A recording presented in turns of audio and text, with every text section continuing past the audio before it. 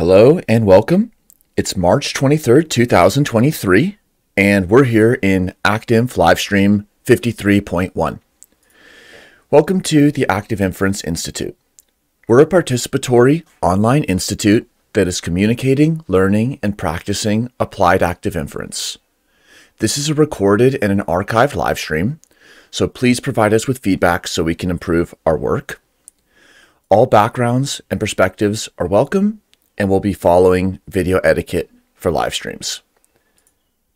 Head over to activeinference.org to learn more about the Institute and learning groups and projects. We're here in ActInf Stream 53.1, and we are discussing a dyad of papers. We are discussing Snakes and Ladders in Paleoanthropology by Hector, Karl, and Michael. Welcome, Karl.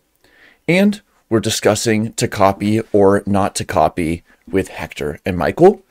Previously in 53.0, we, Dean and I, provided some background and context on these papers. And today in 53.1, First, we will all say hello. Then, we will feature a presentation by Michael Walker. And following the presentation, we'll have a discussion and see where it goes. So, with no further ado, we will all say hello, the non authors first, then the authors, concluding with Michael and leading into the presentation. So, I'm Daniel. I'm a researcher in California, and it was a great fun and learning experience to work on the dot zero. So I'm really excited to continue in the dot one today. To Dean. Thanks, Daniel. I'm Dean. I'm here in Calgary. Um, I guess the only thing I want to just highlight today is the fact that it's a three two three two three, and I, I, I, I love that bouncing back and forth between those uh, those two quantities. So um, I'm really excited, and I will pass this to Hector. Okay, hello, I'm Hector Manrique, and I will just summarize what brought me here. Basically, I graduated in psychology, that was in Spain, and then I did my PhD in psychobiology, so I came to learn the biological basis of behavior. Um, then I recycled into a comparative psychology when I joined the Max Planck Institute of, for Evolutionary Anthropology in Leipzig. I was lucky that I could work with Josep Call under his supervision. And then I had the opportunity to work with the four species of great apes. And after that, I, I, I came to know Michael in a conference on human evolution, and we have been working together ever since. So we are now good friends and also colleagues. And that's it, basically. Thank you, Hector. And Karl, if you'd like to say hello before yes, we I head, will. please. So my name is Karl Friston. Uh, I'm a professor of neuroscience at University College London um, and a colleague um, of our sort of main speakers today, who I've never seen in person, uh, but now at least I have seen you uh, in, virtually. So very nice to meet you. Great. Thank okay. you, Karl. Michael, the floor is yours. Uh, I'm, I'm very pleased to say hello to Karl, uh, whom I've not yet met personally but we're now meeting visually, virtually. Um, I'm a retired professor at the University of Murcia in Spain. Uh, I'm getting rather ancient. I shall be 82 years old tomorrow. But anyway, that, that doesn't stop me from digging up Neanderthal skeletons and even earlier things here in Spain. Um, I'm very pleased to be uh, presenting this. It's a case of the dog that didn't bark in the night. So um, whenever uh, you want me to begin? I can begin, um, Daniel. Yes, the uh, slide is up, and it is all okay. you. Well, this is really a paper which we have out on PsyArXiv in the version, in an earlier version. It's now been modified for uh, a different journal to the one that was originally intended. But the presentation is in order to make a complicated uh, subject fairly simple to comprehend. I call it snakes and ladders because stuff appears, disappears, and reappears throughout human evolution over the past at least two million years, if not before. And the question is, why is there not a continuous trajectory? Let's move on to the next one, Daniel. Right. The traditional view is the received wisdom is looking at uh, what paleoanthropology can tell us from the outside. And there are two basic methodologies, one based on geology and Darwinism, uh, which gives us one view of what it is all about, and another view down on the bottom right is all based on uh, what modern people do and what modern apes do, and it's all by so-called analogy. Let's move on to the next one. Both of these have drawbacks. Uh, I won't go into this in detail. You're welcome to uh, take these slides away, provided you don't publish them, because they do include some material drawn from other sources, uh, which I haven't um, uh, acknowledged formally. But the drawbacks to, the, to Darwinism is really the difficulty of being able to uh, prove anything in the past by in its own terms. Um, okay, we can accept it as being a valid way of explaining natural phenomena and evolution. The drawback to using modern analogies is the spatiotemporal incommensurability, incommensurability with regard to uh, the regular irregularities and um, irregular regularities of which things appear, disappear and reappear throughout the Pleistocene record and indeed prehistory in general. Let's move on to the next one.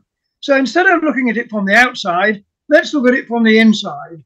And this has an advantage of commensurability uh, and compatibility at the same time with the gradual evolution of and within species by natural selection and at the same time with the documented behavior of our genus Homo. Uh, well, this is from uh, Karl's and his colleagues' latest book. I'm sure you all know it. So let's move on to the next one. Right. Uh, in the 1960s, some archaeologists uh, were certainly reflecting, including some Cambridge friends of mine, uh, on the ostensive presence of irregular regularities and regular irregularities in the archaeological record. And a well-known one is the case of the wheel. Wheels uh, were used for traction in um, Central Asia and the Middle East from about 5,000 years ago. They were invented separately in Mesoamerica just over 2,000 years ago. They weren't used for any kind of practical purpose, but just for moving effigies, uh, statues, and toys around. Uh, and this seems to have been completely independent inventions. Okay, so let's say that surprising enactment with stuff was the exception in uh, early humans. Just see if I can. I'm getting a little bit tied up with two screens here. I'm working on my own screen at the same time. Uh, cognitive surprises were probably disregarded in general because surprising spontaneous enactment with stuff distracted attention away from daily routines. If we go back two million years ago, when Homo first met, appears from the earlier um, bipedal humans or human ancestors, we begin to see the establishment of the genus Homo, especially in Africa. And I'm sure that spontaneous enactment with stuff certainly occurred innumerable times without gaining any foothold as technological or cultural, if you like, communal behavioral traditions uh, passed down for generation to generation because this is unlikely. If we take a period, let's say from two million years ago, even to one, even to half a million years ago, that's one and a half million years. That's 60,000 generations. If you consider one generation as lasting 25 years, it's most unlikely that things could be handed down from father to son over 60,000 generations. So let's take a different take on this. Let's go back to looking at it from the inside. From considerations of the free energy principle and active inference, it follows that active inference underpins biological behavior that has exploratory or epistemic and exploitative or pragmatic aspects, sensitive respectively to ambiguity and risk, enabling epistemic ambiguity resolving responses to support pragmatic reward seeking ones.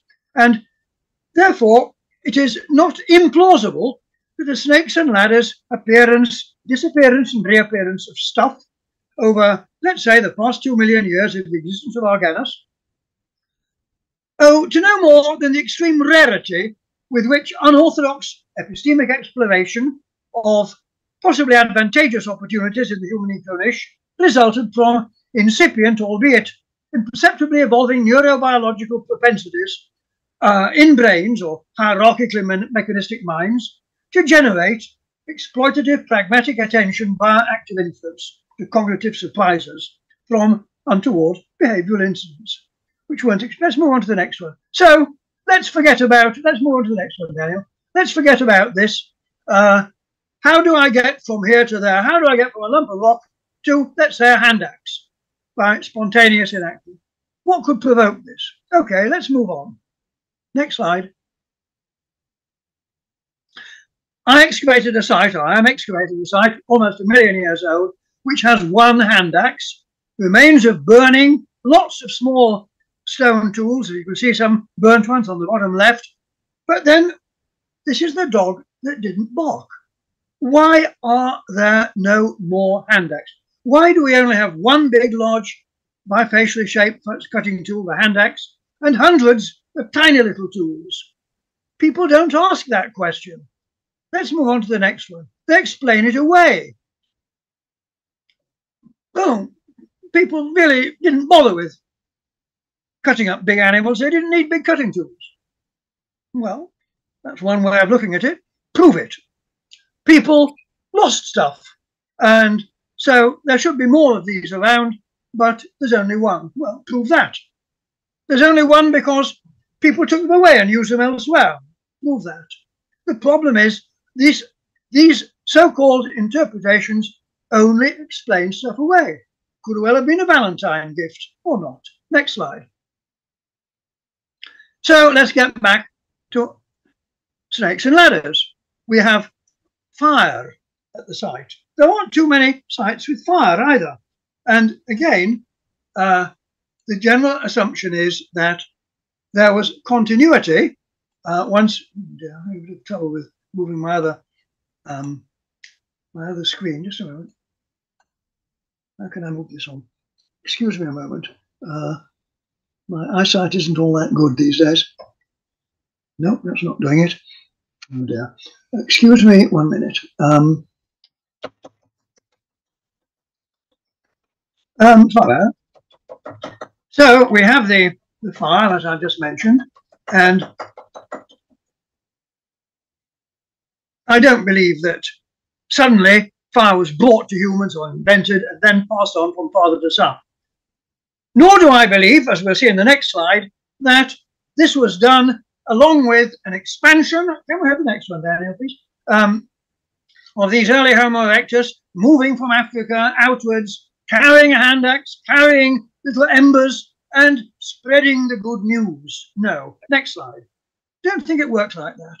Stuff couldn't have been passed on over all that period of time, over all that space. This is not commensurable with modern human or modern ape behavior. Let's move on to the next one, Daniel.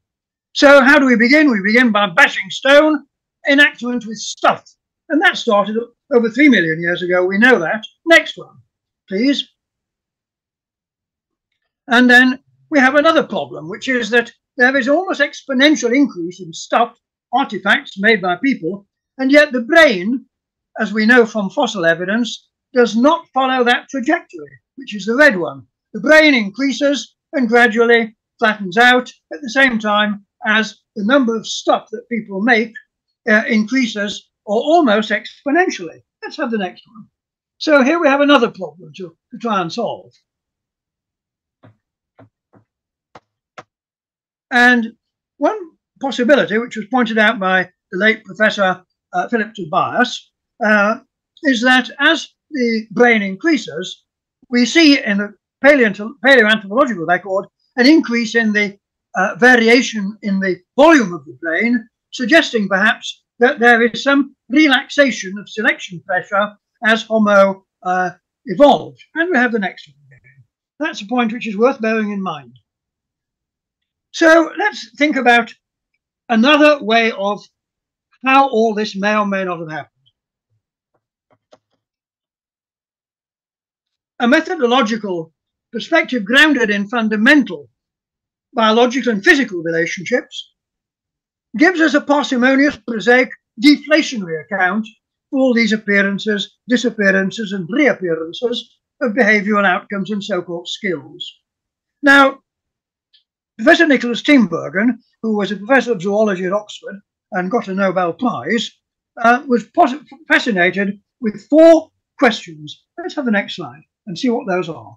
He want to know how we can relate evolution at four different levels that of ontogeny and that of the mechanisms, the causation, that of phylogeny, and that of adaptation or survival value. And these are related uh, diachronically and synchronically, as one can see from this little diagram, into also what we might call proximate and ultimate explanatory um, uh, approaches. If we look at the problem in hand, let's have the next slide, Daniel, um, we can see that here we have in the diachronic aspects, Paleolithic behavior in general, in the synchronic one, stuff appearing at different times in the top right. As far as ontogeny is concerned, we have uh, something which I'll mention later on, but we need to make a big deal of it, that we know that there was a lack of adolescent growth spurt and a relatively uh, um, uh, small brain in Homo erectus one and a half million years ago compared with ours. It's about two thirds the size of ours. When we think of mechanisms, here we come to looking at it from the inside. We have the matter of awareness involving active influence, the free energy principle and variation of free energy, and we have what happens at the neurophysiological level, uh, allowing a complexity of behavior between hand and, and stuff, hand and stone in this case, or stones. We have to involve matters such as working memory, long-term memory, prospective memory, and indeed um, um, constructive memory. So how does all this tie into phylogeny?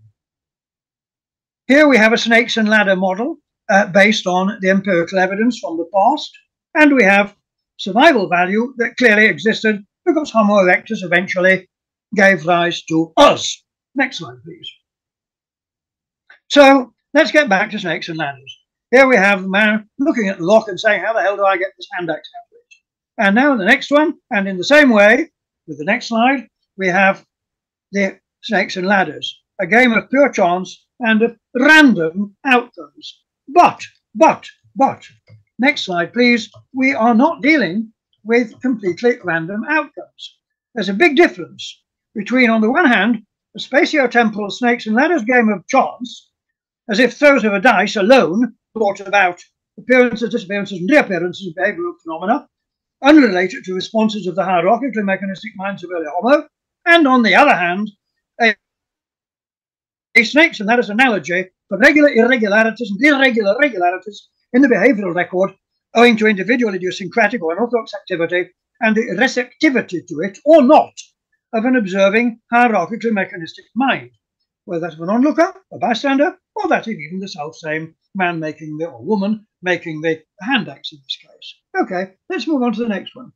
And here we begin to see that the heterogeneous composition of a picture of appearances by chance alone, disappearances by chance alone, reappearances by chance alone, renders it useless as a model for making predictions that can be compared or contrasted with archaeological findings of early Paleolithic sites. Whereas our preferred model, by focusing on the information theoretic and energetic constraints on biological, neurobiological, and psychosocial evolution, affords us a picture that lets us consider whether the model's focus could offer a rational interpretation of the material record and, in particular, of the uneven distribution across the old world of things like stone hand axes and evidence of the tending of fire or even visiting caves, things that chimpanzees and gorillas don't do, between 2 million and let's say 200,000 years ago. In this case, 80,000 generations. Okay, let's move on very quickly. And the rest of it, in fact, you're welcome to uh, read for yourselves rather than have me read it out to you, because basically um, you, you, can take this away or copy it or uh, and download it. What we are arguing is that by about a million years ago, adaptive evolution was underway of cerebral human neurobiological propensities that support perspective and constructive memory in making artifacts or working with stuff, doing unusual, unorthodox things, together with short term working memory, including that of the hands, haptic working memory, long term working memory, and long term procedural and episodic memory.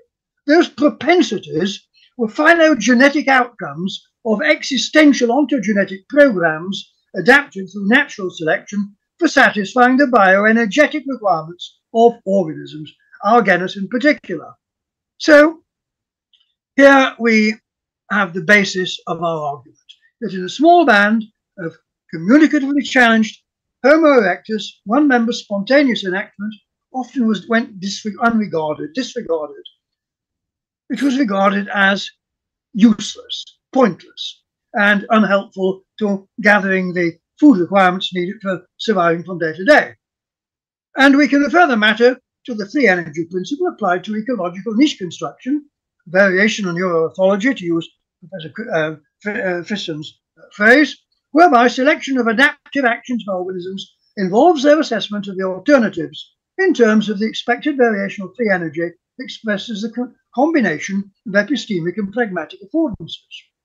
So these early individuals, a million and a half years ago, who experienced cognitive surprises, that's to say, prediction errors about the effective uh, variation of the energy, were unlikely to introduce novel behaviors, whether affected or seen by them, that could gain a foothold in their community before those communicative skills had developed in some groups that widened their social scope for active influence and had evolved by natural selection within a shared framework of adaptive prior beliefs favouring alignment of common expectations and joint activities that affected their ecological niche. Well, that's the basis of our argument. Um, uh, of course, it's no more, uh, as it were, uh, falsifiable or refutable within the terms of the data from the past than the alternatives that I began with. But at least it makes rational, coherent sense and fits in with the uh, uh, Darwinist view of evolution of species and within species by natural selection. It is a more prosaic and deflationary argument than the uh, ones that people, archaeologists and anthropologists like to use uh, and which I began with. So you can take this away and read it uh, read it carefully. Uh, what we're arguing is that about a million years ago, uh, sorry, uh, can you move on, Daniel? And again. So let's just uh, stick with this. Um, uh, I think we can. I think we can go through this rather quickly. Move on to the next one, if you would.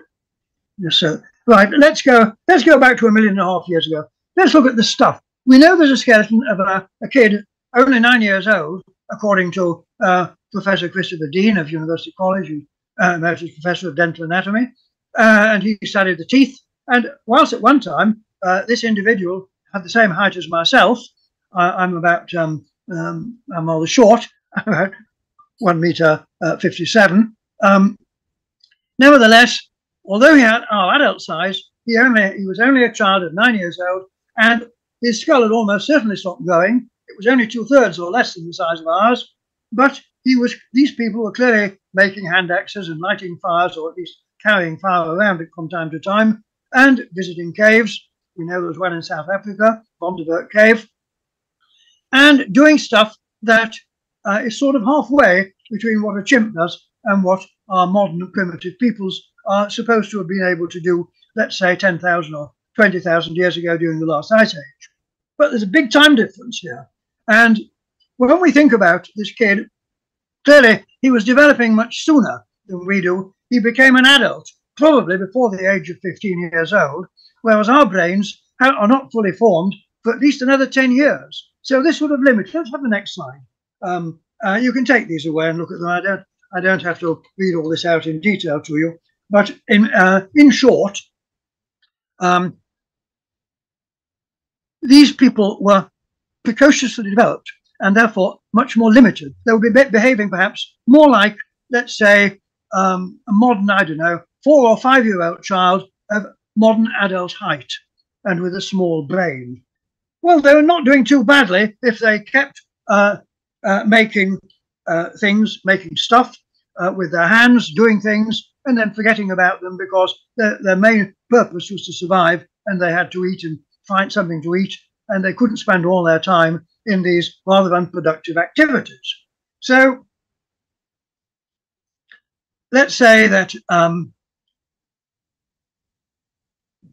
let's take the um, active inference uh, approach to this and suggest that from the perspective of the free energy principle and active inference, the differences uh, that we're seeing uh, contextualize the experience dependent learning and planning and influence on a small scale, but they reflect the structural neurobiological priors uh, that could be inherited by epigenetic and genetic processes uh, within the hierarchically uh, um, mechanistic minds that were evolving and which certainly were not the same as those of modern chimpanzees and uh, gorillas that don't do all these things that even our Homo ancestors were doing one and a half million years ago. Well, okay, I accept that the uh, absence of uh, evidence need not imply uh, the evidence of that absence, but that fails to satisfy most people, or many people, particularly scientists like ourselves.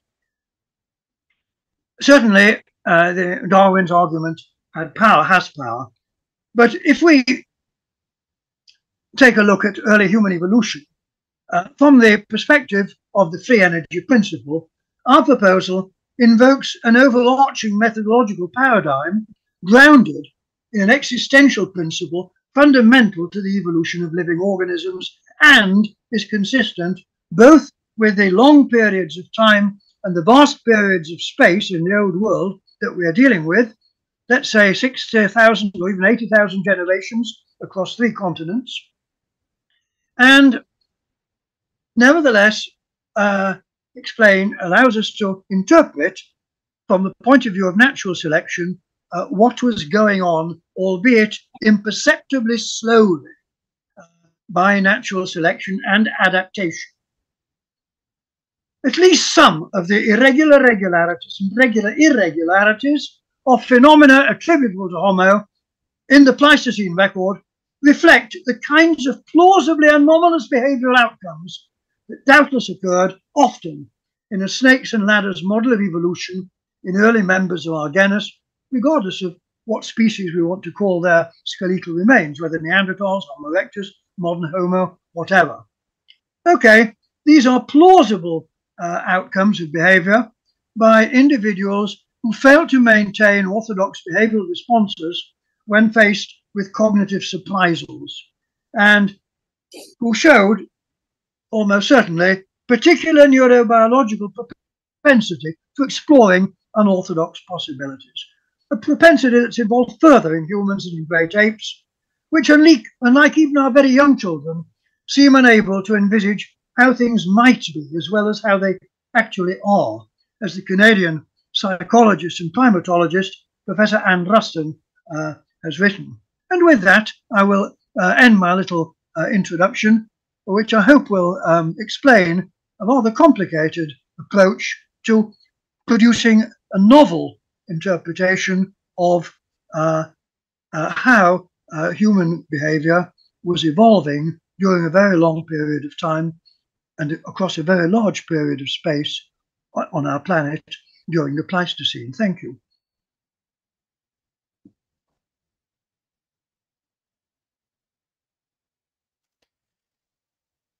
Thank you, Michael. Yes, that is the end of the presentation. Great. Thank you for the presentation.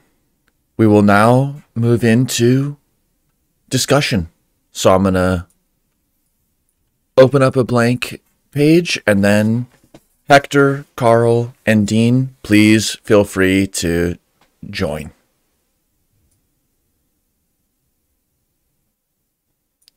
Dean first.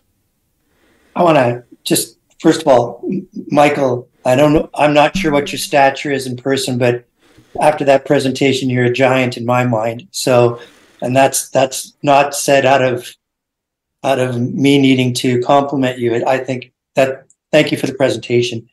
I'm curious now uh, because the approach that Daniel and I took was one of trying to parameterize a space between the two papers.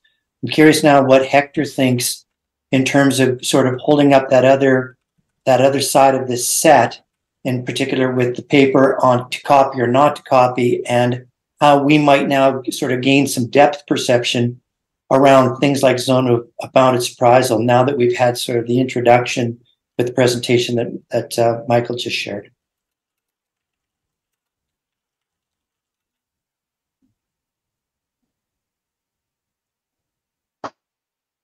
Héctor, feel free to give a first comment. Ah, okay. So you want me to comment on to copy or not to copy on this one, or how they yeah, connect? yeah, the zone of bounded surprisal in particular, Okay, given that yeah. sort of sort of the groundwork that Michael has just established. Okay, perfect.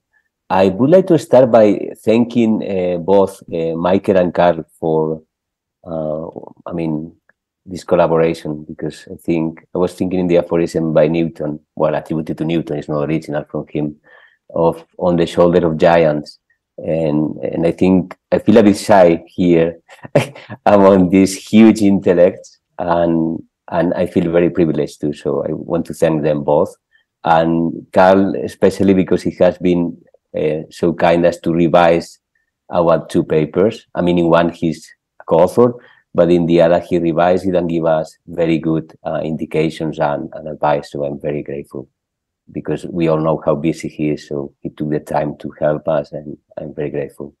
And coming back to the the papers, the thing is that Michael came up with this original idea of explaining this appearance and disappearance of hand axes in terms of the free energy principle. Um, and when we were working on that paper, I thought that the same argument could apply naturally to the case of great apes. And the thing that there was this puzzle in great apes um, studies when they study this kind of social transmission or culture or cumulative culture or cumulative technology. And what happens is that there are many reports on chimpanzees being innovative, meaning innovative like they invent new things, new behaviors or new exploitation of resources by applying new tools. So there are many instances of this, but there is a puzzle here, as there is the other puzzle with appearance and disappearances of technology, that there is no cumulative technology. So this is a puzzle for me because if you have one creature who is able to be so inventive, how is it possible that it doesn't accumulate complexity in the technology? So the same cognitive machinery, so to speak, should be able to produce more complex artifacts. So there is no kind of accumulation of complexity across generations. And that's a, a big puzzle for me. So I thought maybe the free energy principle was useful here too. So I just made this analogy. So it's Michael who opened up this new avenue thanks to the work of, of Karl. And I just took advantage to think maybe it is because new things are too surprising for great apes. So there are creatures that cannot cope with high levels of surprise. And I mean, if I'm talking too fast or too much, just tell me. I think you are following the argument, I assume. Is it okay? So the idea is that if something that I observe is too surprising, I have to deal with this high level of surprise. And also by reading a, a paper by Andy Clark, uh, was the title was predictive coding. It was in behavior, uh, behavior and brain sciences, if I remember correctly. He talked of one can see very surprising things if he's able to credit the sensory information as opposed to the top-down prediction. And this again helped me to make the connection. So maybe the problem is that from the point of view of the observer of an innovation, if something is too surprising, I have to consider if I trust the sensory information as opposed to the the top-down uh, prediction. And this kind of I need to decide. I mean, I'm talking. I need to decide like it was some kind of animistic thing, but you, you know what I mean. So there is the wake weighting up of sensory information and uh, top-down prediction. So my idea was that perhaps what happens here is that these uh, great apes, when they observe something new and it's surprising, they kind of do not credit it. So it's like they basically do not register that because it's um, kind of is a mismatch with the prediction and for some reason they are not able to credit this sensory information.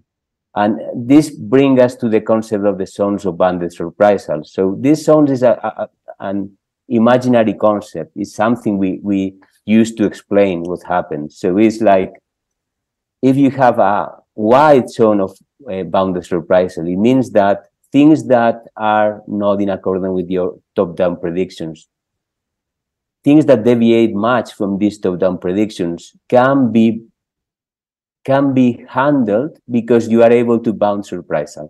So you have cognitive mechanisms that help you to bound surprisal even when you are facing huge mismatches uh, with regard to your expectations, to previous expectations. So that's will be the, the main thing here. So we propose that in great apes, there has not been these changes in the brain that allow them to bound surprisal where things deviate markedly from when they, what they expect. Or indeed, when they deviate slightly from what they expect.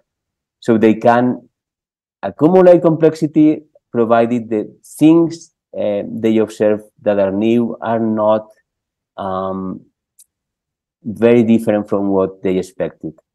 And I think I will stop here and I can make more precision. But that is the basic idea. I don't know if Michael is in agreement or he wants to add something because I hope I have my limitation with language too, so perhaps he can help me out.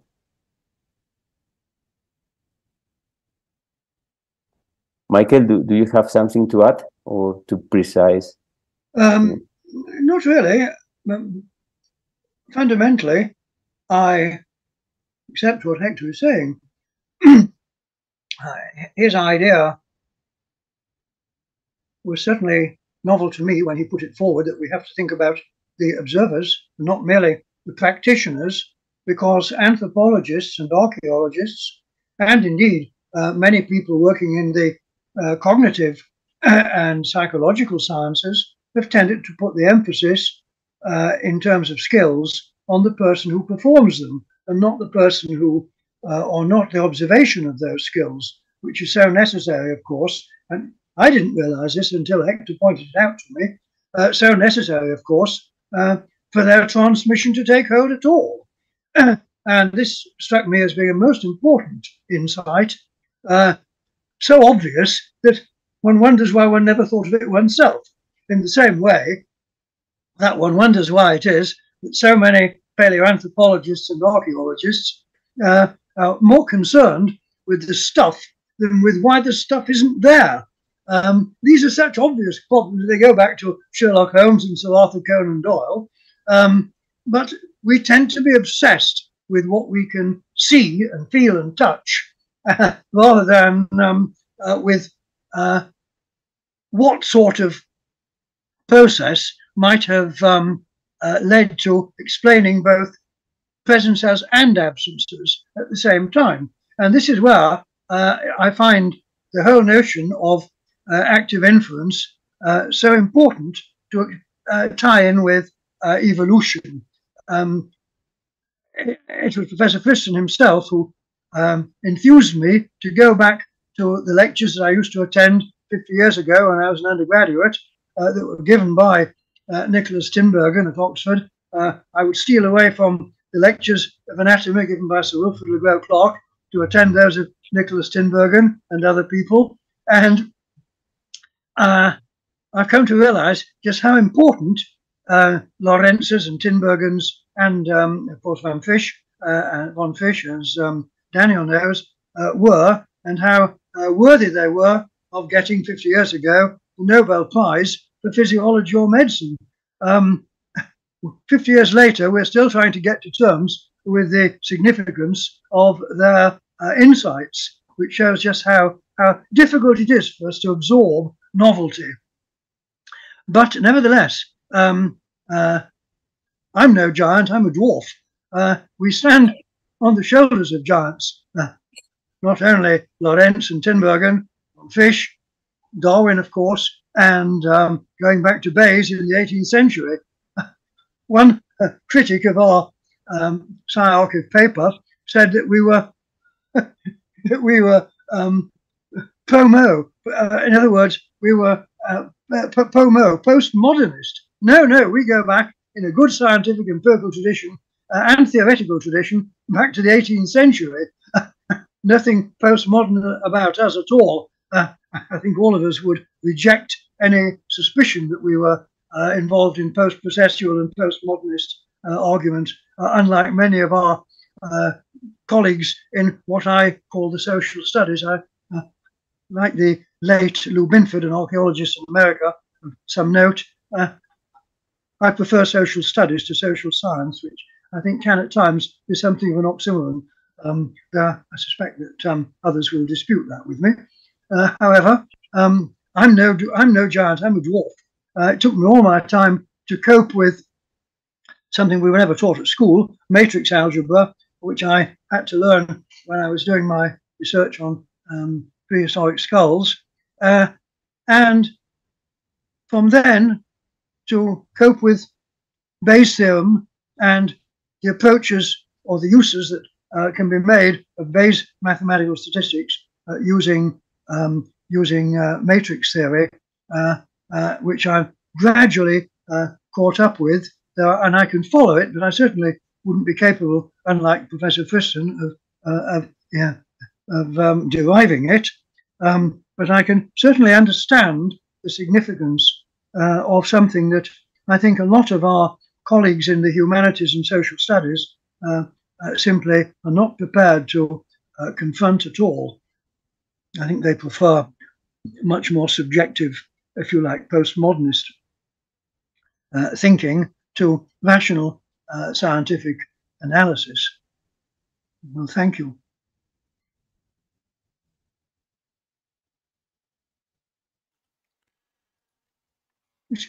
Karl. Lost, lost the screen.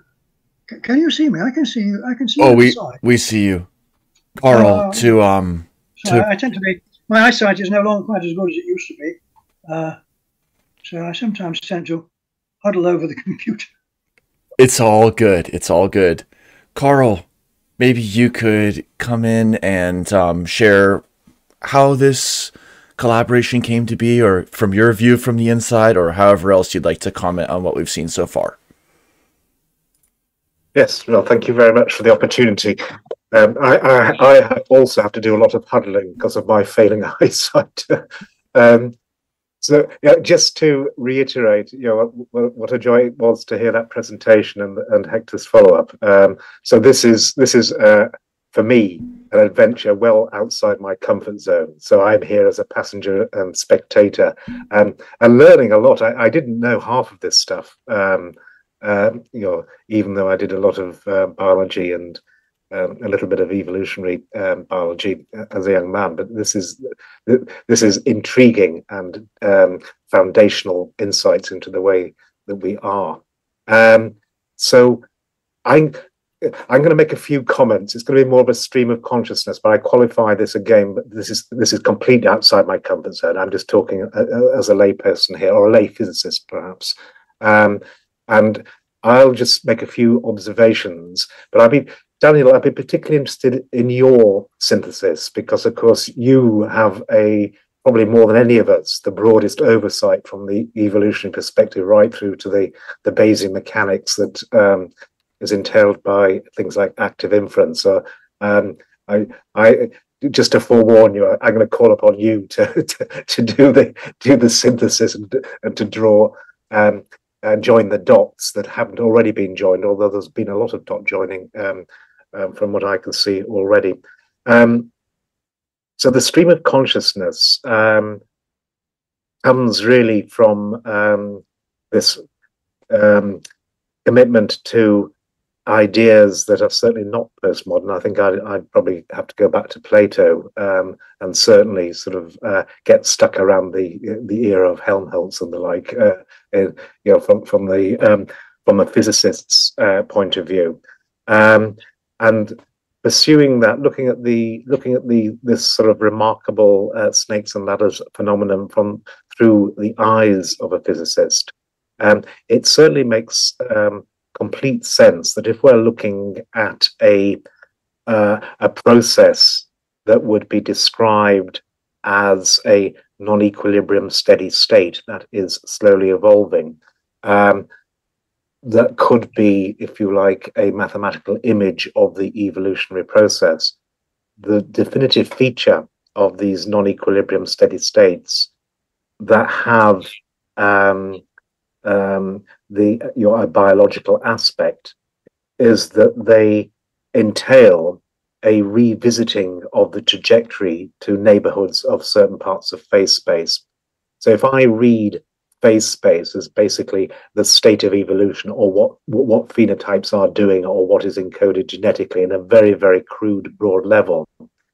There can be no other solution to a particular trajectory that is apt for describing a non-equilibrium steady state than the occasional itinerant recurrence of certain states of being, literally being close um, or revisiting neighborhoods of uh, certain um, regimes of phase space. Um, so it, it, the, the snakes and ladders um, image seems to me a very apt image to actually describe pullback attractors, which are another way of articulating these kinds of dynamics or this kind of, uh, kind of dynamics, uh, in the sense that they have this aspect of recurrence and they have this aspect of self-contained itinerancy, um, which are the hallmarks of any system really that exists over a substantial period of time.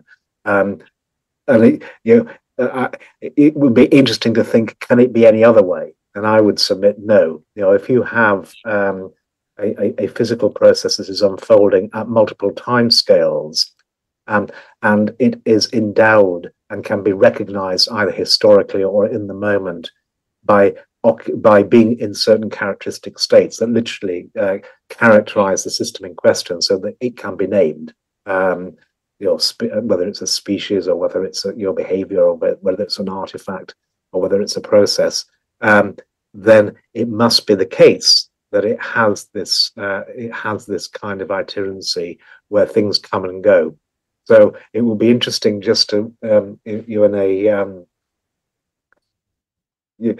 as a pure uh, exercise for pure mathematics, just to put things like the Poincare recurrence theorem into a snakes and ladders format, um, and vice versa, because uh, I think there's something fundamentally true. It has to be that has to be the way that things are.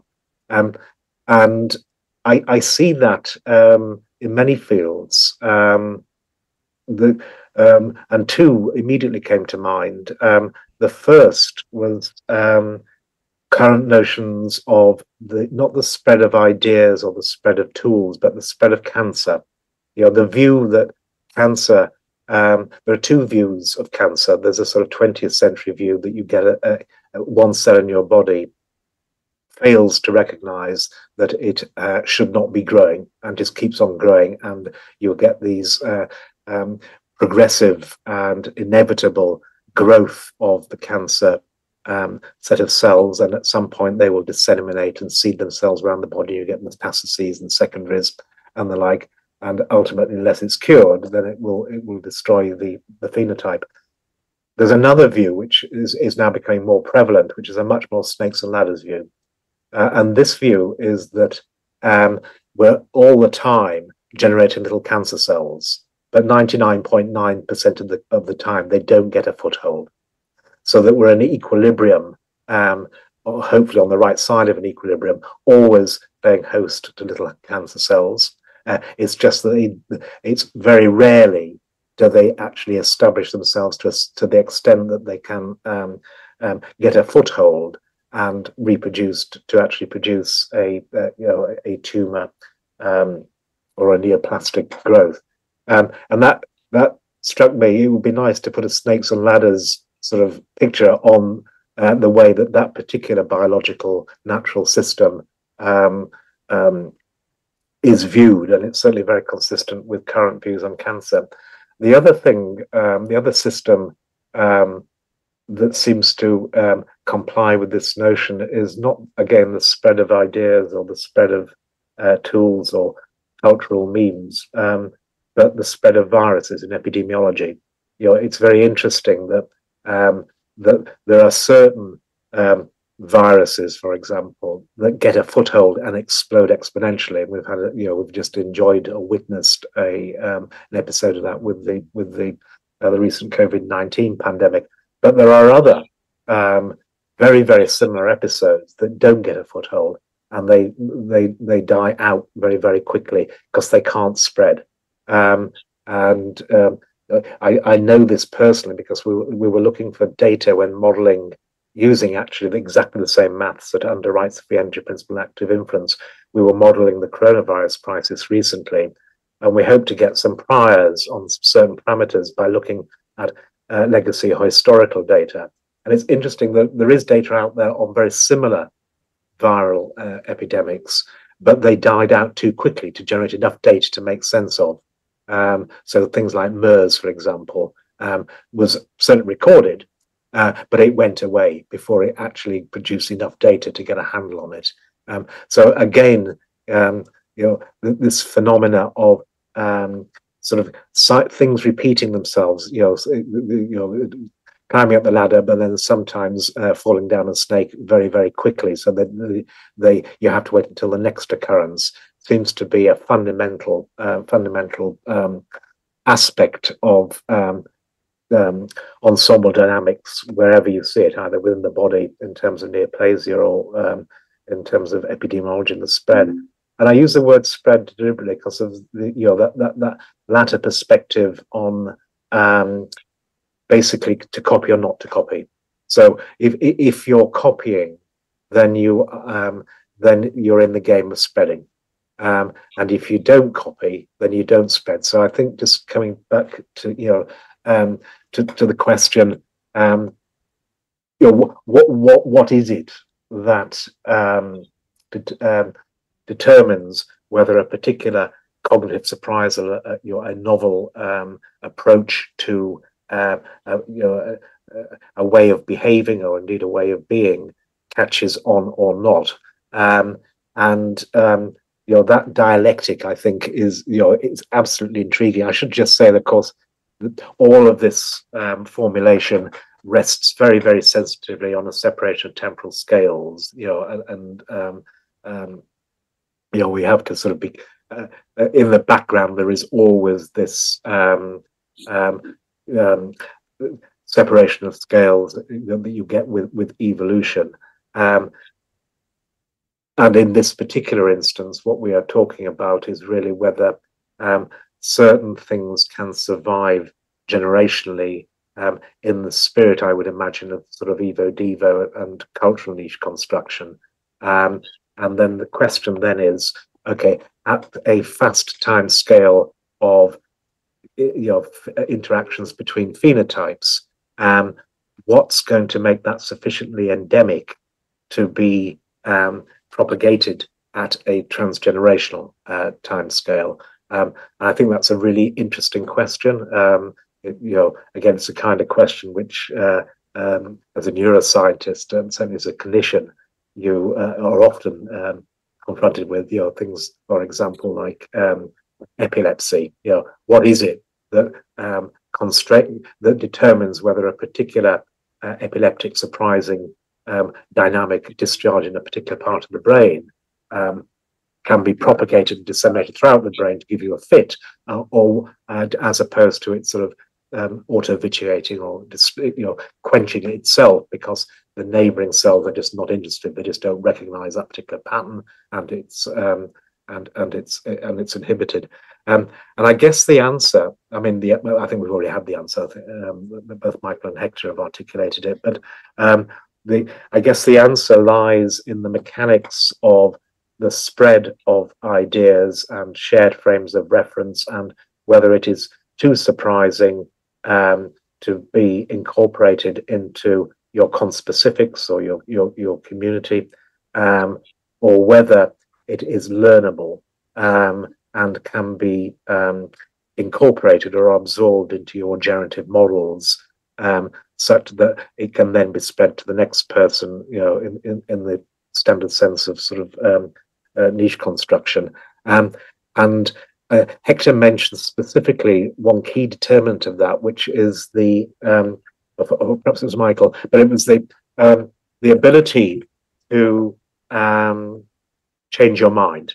Um, and uh, you know the ability to change your mind is absolutely fundamental and if you just you know if you want to frame this in an active inference context um, just confronted with a cognitive surprisal as it has been articulated a set of difficult to explain um, sensations or sensory evidence then there are two ways in which you can resolve that surprise. The first way is to change your mind and to adjust your internal generative models or you do some Bayesian belief up, updating on the inside to make sense of this thing. And that might in, in, uh, depend upon some experience dependent learning uh, over a suitable time scale. Um, so that you're changing your model, your generative model of the world to make it more apt to explain this novel observation or an observation of one of your conspecifics doing this kind of thing. Um, the other thing the other way is not the um, the perceptual response, the, the belief updating on the inside to make your predictions more like the sensations. It's to actually act upon the world to um, to make your sensations more like they were predicted. So this is a fun. This is foundational in active inference. There's two complementary ways of minimizing surprise or or prediction error. You either change your mind or you change the thing that you're surprised about um, you know, at, at, every level, at every temporal scale. So just read in terms of whether I um, um, am able to change my mind about witnessing fire. There are two ways. I can say yes, fire's a thing, uh, and you know I can then um, incorporate or imbibe that into my world model and um, become uh, the kind of creature that actually engages with fire, or I can act to put the fire out and then I don't have to worry about it. Both are perfectly appropriate ways of minimizing surprise. And the difference, the, the, the re, at a at a very basic level, um, the um, the thing that determines what I um, whether I uh, perceive or act, or whether I engage in perceptual or active inference um, in the moment to moment, depends exactly on something which was um, again mentioned implicitly earlier on, which is the precision afforded your the sensory evidence relative to your prior beliefs. So, as a physiologist, um, if you don't know this, you know, it, it, a beautiful there are beautiful illustrations of this. So, if we, we if you, if we just forget about the notion um, at the moment of sort of long-term revisions or belief updating of our generative model over multiple experiences to an instance of uh, somebody making a fire um, or providing me with a Valentine's gift of a hand axe. Um, uh, and just think now to um, the moment to moment ways of making, uh, of sampling the world and making sense of the world.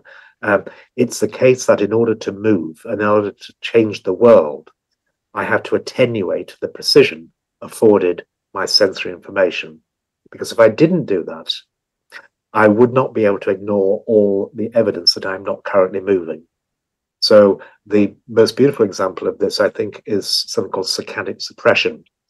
It's when we move our eyes, and we do so about four times a second, we actually attenuate the precision of the sensory evidence uh, so that we um, are able to actually move our eyes, which basically means you can't see the optic flow induced when you make a, a sharp or saccadic eye movement. And yet, 50 milliseconds after you've made the eye movement, you're suddenly now attending to the visual information that you can see. So you can't you can't actually see anything while your eyes are moving because you've got this sensory attenuation, which is basically putting the priors um, eh, you're in charge, uh, suspending attention to the sensorium while you are acting. Um, failures of that um, can have quite horrible consequences. So, a failure to ignore the evidence that I'm not moving, and a failure to attenuate or suspend attention, attenuate the precision of sensory evidence or afforded sensory evidence, um, looks think like things like Parkinson's disease.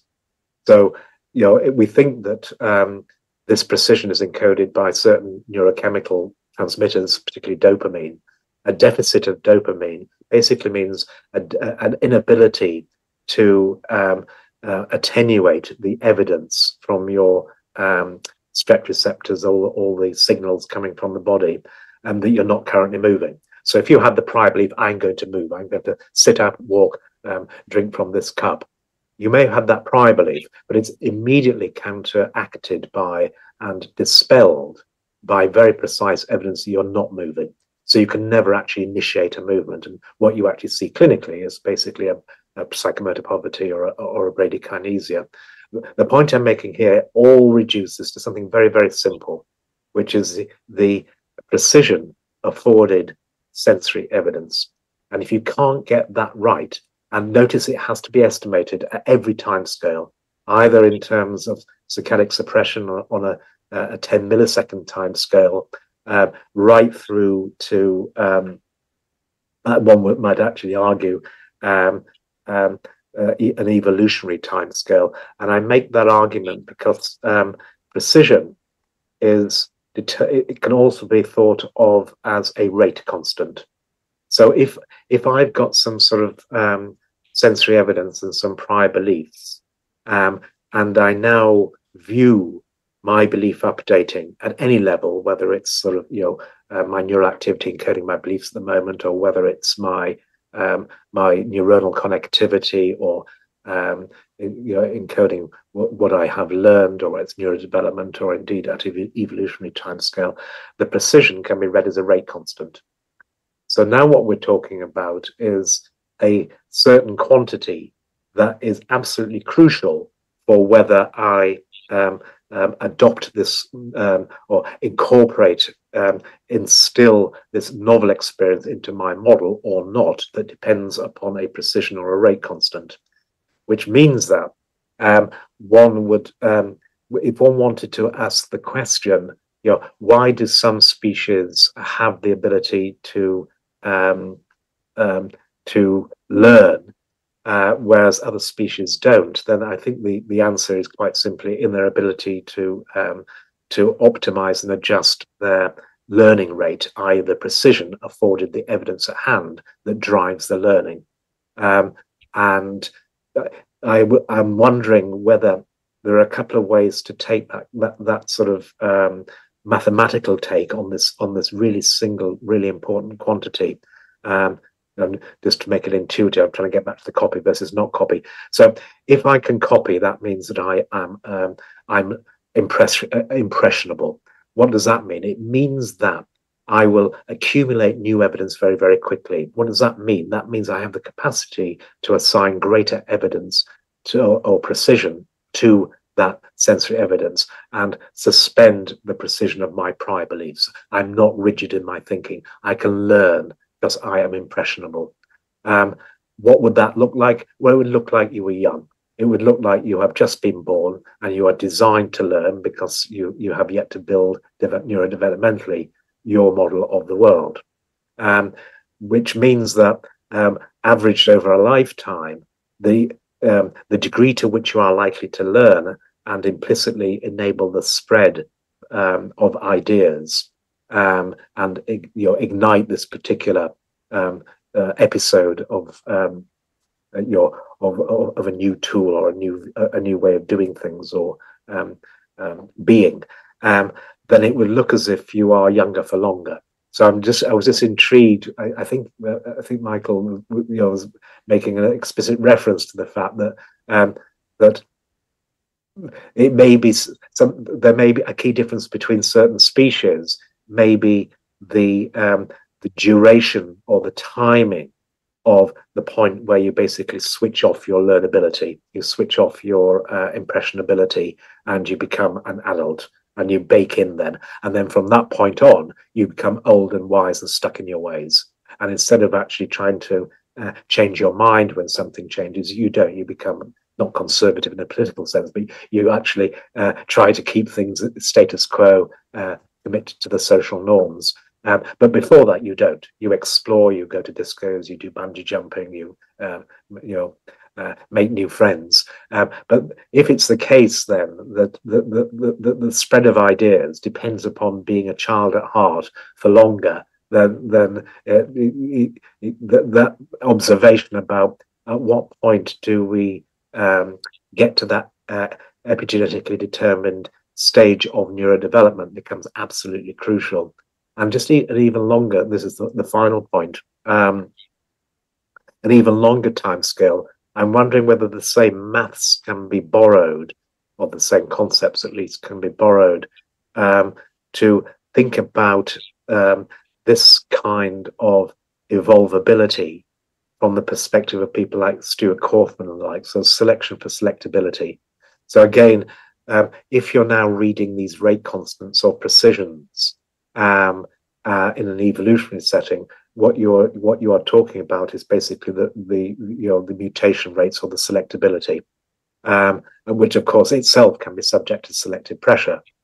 So you know if you um, if you commit to this style of thinking about belief updating in, in, a, in, a, in a mathematical sense at many different levels or different spatio-temporal scales, or at least temporal scales, um, then it may be that the the the selection for selectability or the, the selectability in and of itself is um, exactly the same kind of quantity that is the, the, you know the learnability and the be, you know being young at heart for, for longer. That just is the same kind of um, quantity that is uh, required right down to the level of uh, um, saccadic suppression and sensory attenuation that determines when we act to keep the world constant, as opposed to no, we actually have to um, attend to this evidence and and update our beliefs.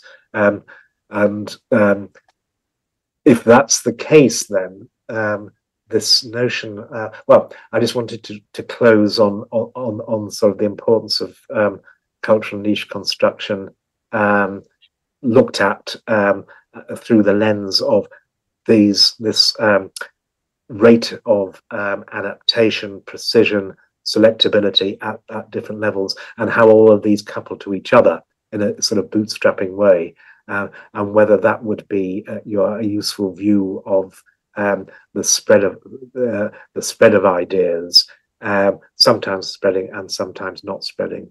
Um, can I just ask it? That did we um, did we or did did you latterly um, sort of leverage um, sort of the well actually no this is basically setting up daniel for his his perspective but uh, i'm just wondering how much um, people in um, evo devo and uh, evolutionary psychology i'm thinking here of people like cecilia heyes and uh, cognitive gadgets how much they they think about these um, these issues and whether there's the opportunity or whether they have a snakes and ladders like um, view of things uh, from the point of view of um, evolutionary psychology. And that's it. That's all I have to say. Thank you, Daniel. Your turn. Thank you. Wow.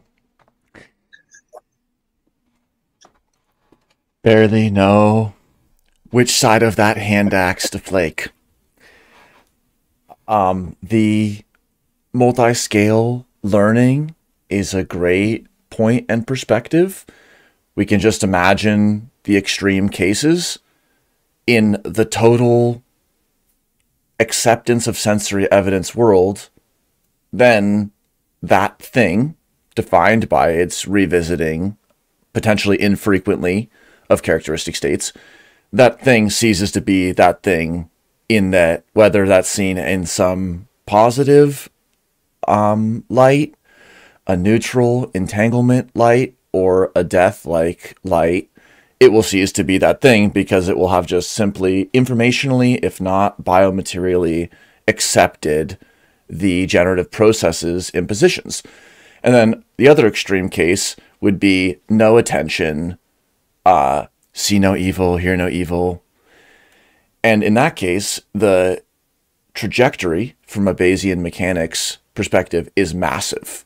It's a, a trajectory with so much inertia that it can't be moved.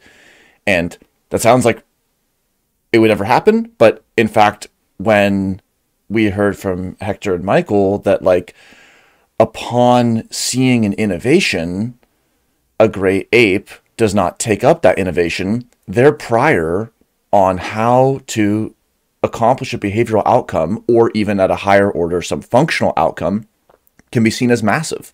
The Bayesian physical inertia of their top down prior dominates these potentially sparse or non-linearly related cues coming up from the bottom. So simply by not paying attention to the bottom up cues,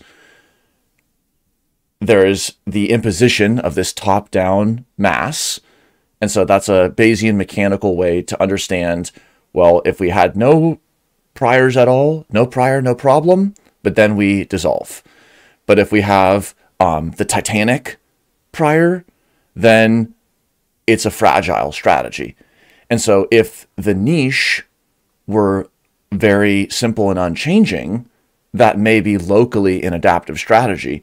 And on certain axes of phenotype where there can be regularities, we do see those kinds of strategies.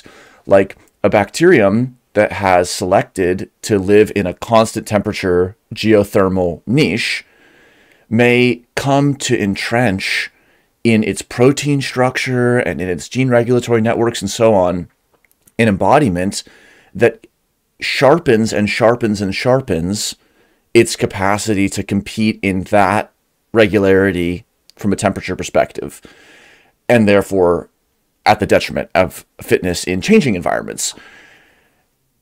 So that's one aspect is seeing learning as this multi-scale synergetic and ongoing renegotiation process of the updating across multiple scales, some spatial temporal scales of which there are no problems with talking about those using the cognitive ontology, like perception, cognition, and action. But then some scales, especially beyond the physical mechanisms that those cognitive ontological terms arose from, it becomes like, well, what does it mean for the population to pay attention to something? Or what does it mean for the niche to pay attention to something? So that was one angle on the rates, and it speaks to the importance of having flexible and interoperable mathematics and statistics and analysis frameworks so we can just qualitatively, even in conversation, start to see that as a starting point instead of needing to argue up to that point of that being important. For example, in pursuit of transdisciplinary synthesis conceptually, epistemically, or so that we could explain, predict, design, control, create pragmatically. How can we take that multi-scale insight as our starting point. And then I think that leads to a question in the chat, which I will ask now. Mark Fruchtman wrote, Early in the video was the complaint that there was a lack of evidence as to why certain things occurred in the archaeological evidence record. How does active inference not suffer from the same issue? And so it's a key question. Thank you, Mark, for asking. And was the motivation for one of my underlying motivations for even reading and investigating with this lens was great. If we can describe everything and we have this very interesting mathematics and so on, how do we go from a technique and a method to moving beyond some limitations of previous analysis techniques, with respect especially to the historical record.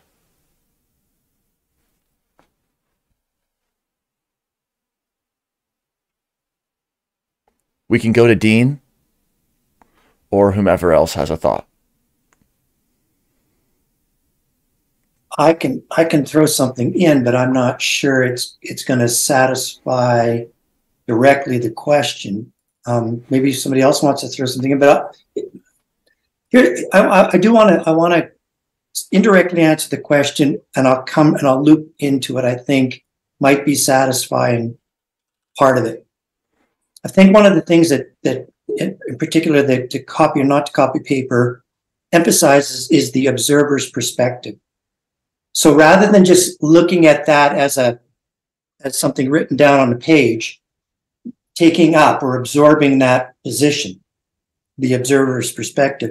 I think what the two papers and, and one of the things that we tried to highlight in and we're so grateful that Michael and and Karl and and Héctor were willing to let us look at two things at once was the idea that the papers um, both raised the specter of, and I put quotes around this, the narrative follows. What the implications of start with a story about seeing phenomena X actually are. Now, one of the implications of that is that when you have a story, you can't have gaps in the plot.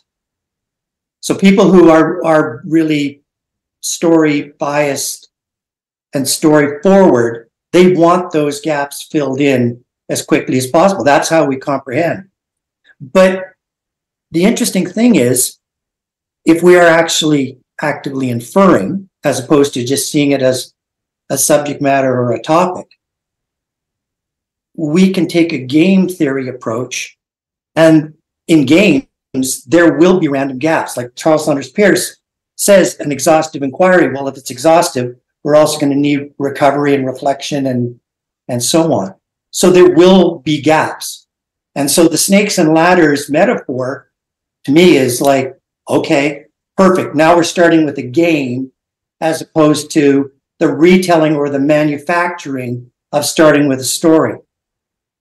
So there's very different mechanisms in, in the two approaches, right? There are, are there are very different assumptions in the two approaches. And then the question around modeling as, pers- as perspective swapping kind of pivots on the stuff that Michael was talking about in terms of how is the change based model depth capacity either affording or not affording that ability to play with time as opposed to being captured by it. Because in a story you've you've written down what the sequence is. It's now been applied. Now you can interpret that but in terms of that actual effort of starting with a story it's now stabilized per se relatively speaking. So let's start with a game and Karl's heard this before because I asked him a question about a year and a half, maybe two years ago, is starting with a game is a prediction matter expertise strategy or a bias. Starting with a story is a subject matter expertise strategy or a bias. And you can understand why if you're if you're dealing with historical records, to fall into a, a default of okay, well, we have to start with the story. But I think what Héctor and Michael are, are at least asking us to have a conversation around is well, so what if we do bring this other way of viewing the circumstances, taking that game strategy and putting it on the same shelf as the story strategy? So again, if you if you look at the assumptions around why gaps have to be filled in as opposed to there will be gaps because the game is on. Something as simple as that, and ha- being able to hold the two things up at once can sometimes at least tell you a little bit about maybe some of the some of the conditions that you as the observer are inserting on what it is that you're observing or examining.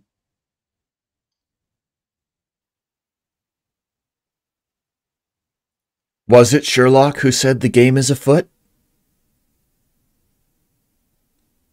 Maybe. Right. Yeah, Michael- Hound of Baskerville. okay. Yes, Karl. Indeed. uh, Michael or Héctor? how is this landing with with what you're thinking right now? Michael, go ahead. You always know better. Then I can pick up from you.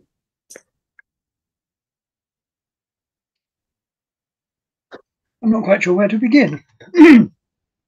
um, perhaps thinking in terms of the evolution of both the brain and the body in the genus Homo, uh, we, and possibly Neanderthals also, maybe from as early as three quarters of a million or even or at least half a million years ago, seem to have undergone an evolution towards a bimodal growth spurt or growth, uh, growth curve uh, caused by the adolescent growth spurt following a period, period of childhood slowing down of growth, which is unique in our genus, uh, to our genus, and uh, seems to be related in adolescence to some changes in terms of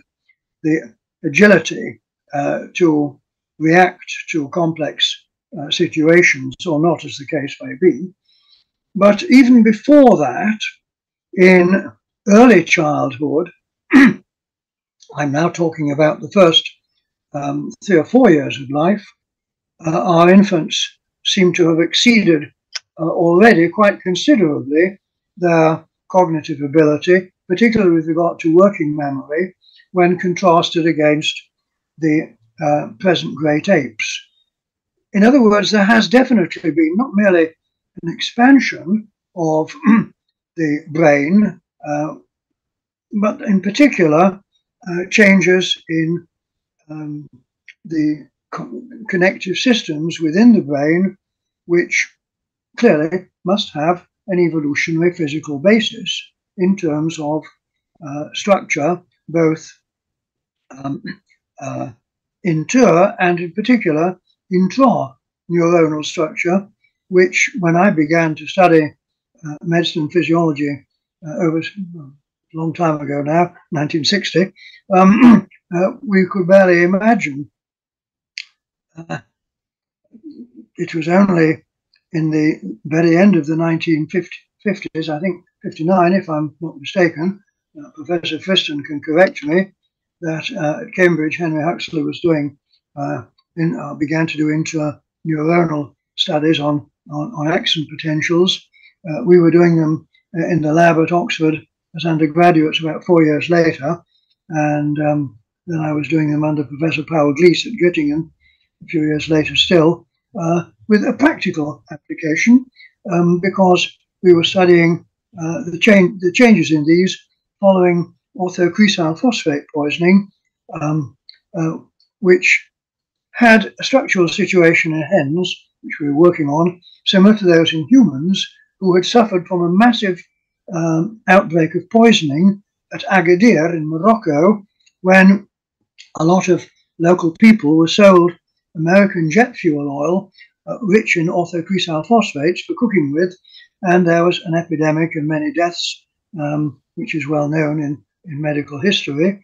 And so some of these uh, early studies, uh, even then, were having applications which now uh, seem almost Paleolithic uh, when we think of the work which is being done on intraneuronal and also on synaptic connectivity, intra intraneural uh, neuronal transmission, and the effects not merely uh, of genetics, such as, for example, synaptic pruning, but also of epigenetic uh, modifications, which uh, no doubt um, uh, we shall learn a lot more about in the uh, coming decades, but which even now seem to be telling us that the increase in um, the kind of connectivity or um, what's the word I'm really looking for?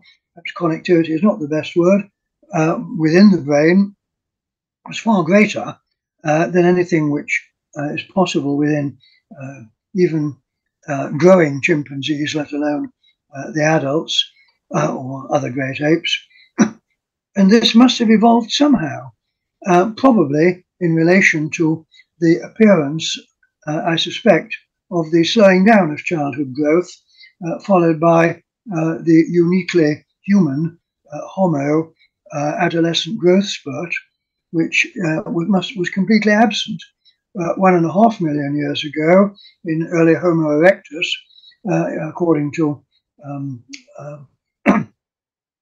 Professor Christopher Dean and others, and which must surely have been a response, or the evolutionary change must have been a response to not merely um, not merely some kind of magical physiological change, but more more likely uh, to uh, the effects of uh, what one might call behavioral uh, responses, and fundamentally, uh, it takes us back to active inference and to um, fundamental changes which are naturally slow uh, to evolve.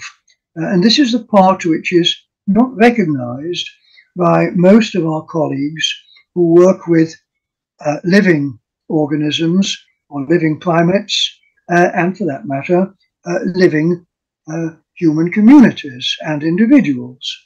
Um, their perspective is not that, I hope they'll forgive me for saying this, which those of us who've been brought up in the natural sciences uh, naturally come to expect. They don't have the kind of cosmic uh, time scale and cosmic spatial scale uh, of things um, and of their the slowness and the imperceptibility of change, which come naturally to those of us brought up from school days in a different tradition. And I think this is very important because I think there is a big divide still between what um, 60 years ago uh, we knew as being uh, named the two cultures. I think this divide still exists, um, as that uh, critic of our paper who claimed we were postmodernists uh, clearly represents. Um, the more, uh, shall we say, um, uh, um intuitive, uh, relativistic uh, view uh, in which there is something which some of them believe to want to call an, an, ethnographical present, which I think is is a, is, a, contradiction in terms. Otherwise, there could be could have been no evolution in behaviour, but which wants to compare uh, instead of contrast, uh, as I would have it, uh, what goes on in a few generations, let us say, in a community be it a small one or be it a large one today, with what went on over many, many generations. Um, uh, as I said, between 2 million and 200,000 years ago, there would have been at least 80,000 generations if each was 25 years long. And even that is pushing it a bit, given that adulthood in Homo erectus was very likely achieved before the age of 15, and reproductive success uh, was probably or the next generation was probably um, only uh, a few years away.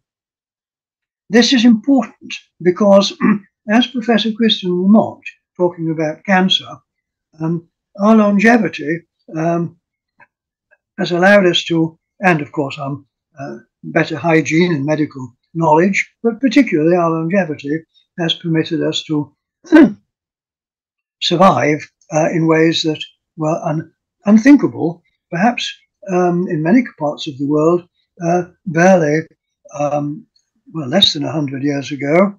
it wasn't merely thanks to antibiotics or even better hygiene, um, uh, in, but uh, to increases in uh, standard of living, uh, going back perhaps perhaps um, a few hundred years. But let's not get into that. what I really want to say is that next week I have to have a small um, uh, basal cell uh, neoplasm removed from the side of my nose, uh, which only at the age of um, 80 or 81 became uh, noticeable, uh, indicating that some of these um, diseases, which we, we now regard as being um, part and parcel of our humanity, or the aortic stenosis, which was I was diagnosed with, with my first and only ever um, incident of, of, um, of um, um, cardiac failure uh, about a year ago and has been successfully treated thanks to uh, our, our, modern catheterization uh, processes that allow prostheses to be uh, prosthetics uh, to, to, be placed on heart valves by a long catheter from the groin. This kind of thing would have been unthinkable um, a few years ago. In fact, I can remember as an undergraduate, um, uh, as a medical student, watching the first ever uh, open heart uh, operations done by Alf Gunning, um, which was regarded in, in 1960, wherever it was, 63, 64, as being um, uh, something that might never might never succeed. And nowadays, these operations on our heart are just regarded as everyday occurrences in cardiovascular units around the world. Things are changing, and they're changing at a, uh, with an acceleration which we can only barely uh, appreciate. Though, even those of us who've now outlived our fourscore years and ten uh, and are on the verge of uh, of defun- dysfunction. However, um, we have to think in terms of the, and this again is important, of the exponential, uh, if you like, rather crudely, scale at which things are happening and which are so influencing many people, many of our colleagues in the uh, humanities and in the social uh, studies, and in indeed studies of animal behavior, um, including climate behavior, of course. And this, I think, is detracting from an appreciation of the long time scale uh, and the um, over which evolutionary processes have uh, necessarily to take place. Uh, I don't believe in Goldschmidt's um, uh, uh, hopeful monsters, magical genes. Some people believe that there's a magical gene uh, in Homo sapiens uh, switched on our cognitive ability. I think this is this is wishful thinking. Um, indeed, it's magical thinking, in my view.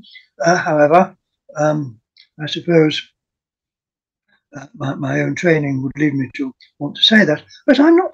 There have been exceptions, and one exception I should like to mention by name is an emeritus professor of archaeology who is eminent uh, in Paleolithic studies at York University now, Professor Geoff Bailey, who over 40 years ago was pointing out the incommensurability of the timescales of recent archaeology and, if you like, ethnography with those of the uh, Paleolithic and the Pleistocene and human evolution.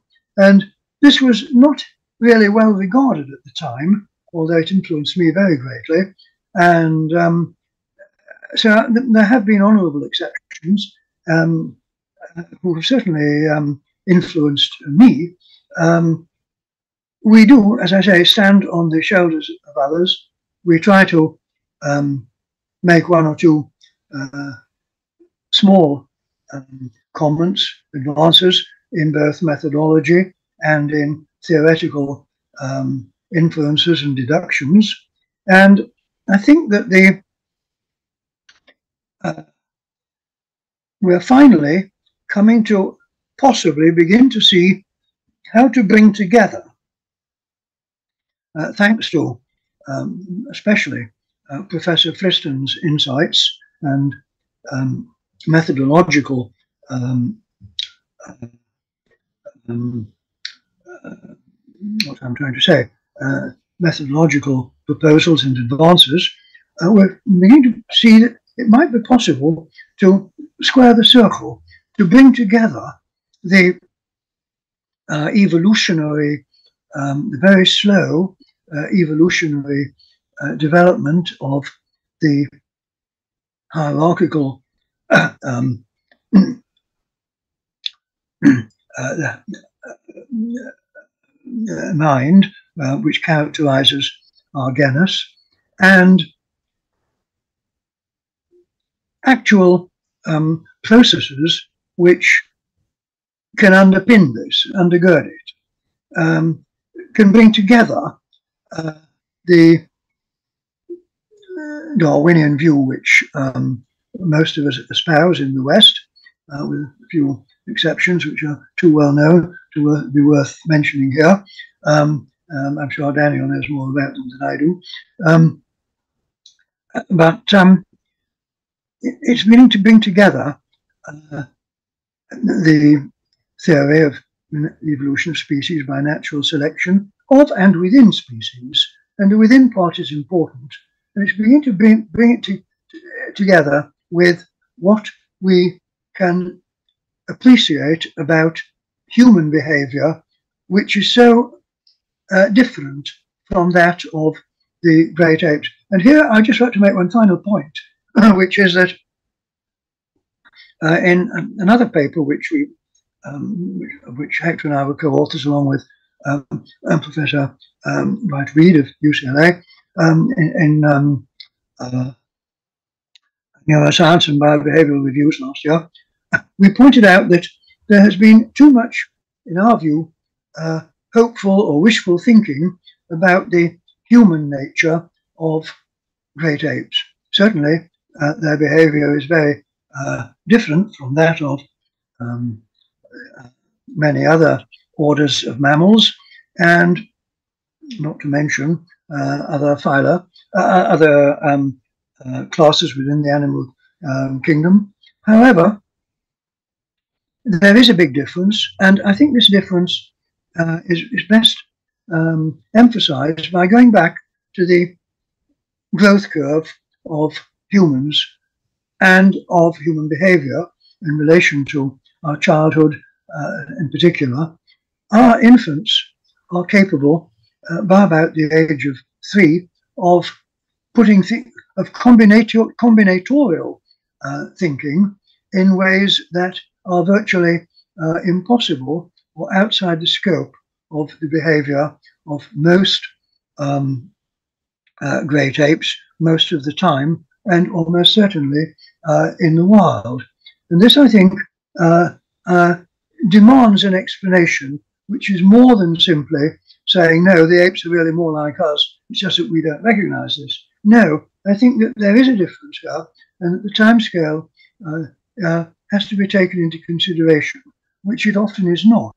And most important, and this brings me back to my last point and the first one, which is that finally we're beginning to get together, thanks to Professor Friston's, Friston's insights, to seeing the possibility of tying together um, the biological evolution and, if you like, um, the, the, psychological evolution. Certainly, uh, I would say the neurobiological evolution, uh, which has characterized our genus and characterizes it today um, in a, a, unique way. And with that, I rest my case.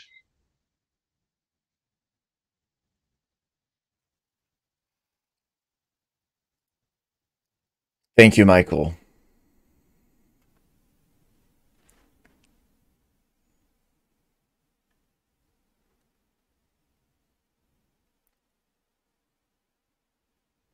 many, many ways to go. The dinner plate balanced on top of the stick. And I think that's the cognitive moment where the top down constraints and opportunities of our enabling architectures, which for a long time included primarily what was on board. And then over the last several thousand years, progressively included niche modifications and stigmergic modifications like writing. And so, just like in the SPM toolkit for studying brain function, there are brain regions that have statistical connections that aren't necessarily anatomically connected, and vice versa. And when we consider information spaces, we have similar connectivity patterns. Some are like information anatomy, and some are more like information physiology in narrative or rhetorical spaces.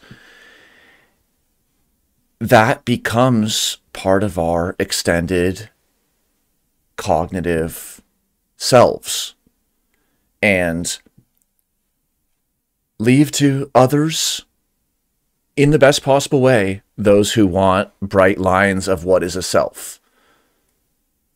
There are analytic frameworks that respect continuities and discontinuities with an emphasis on the respect.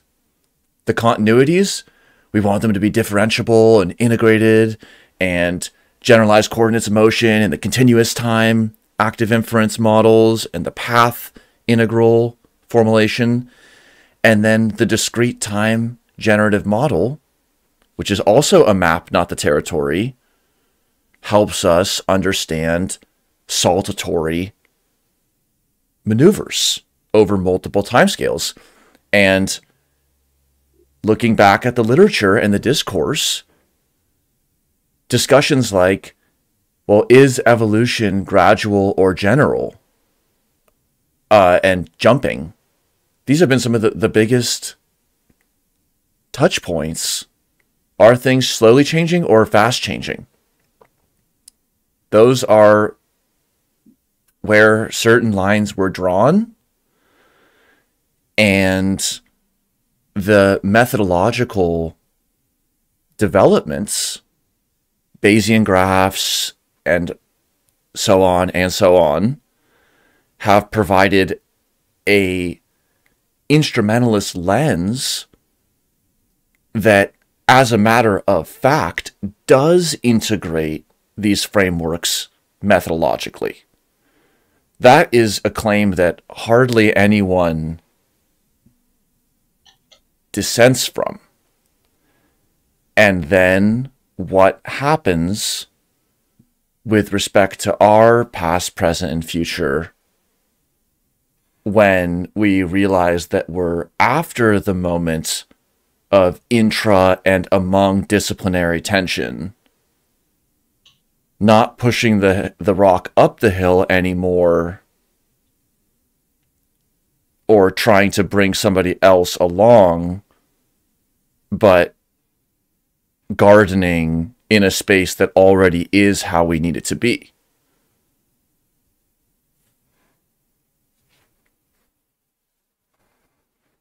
Could I make a comment, uh, Daniel? Yeah. just occurred to me that when we think of the formant frequencies that affect all of the harmonics and other aspects of our vocalizations, whether speech, chanting, song, or even whistling, perhaps,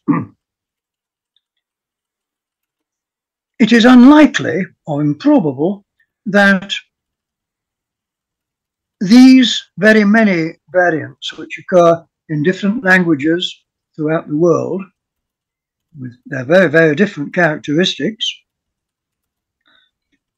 and which almost certainly began had begun to evolve quite considerably by the time that uh, early writing appears about 5,000 years ago.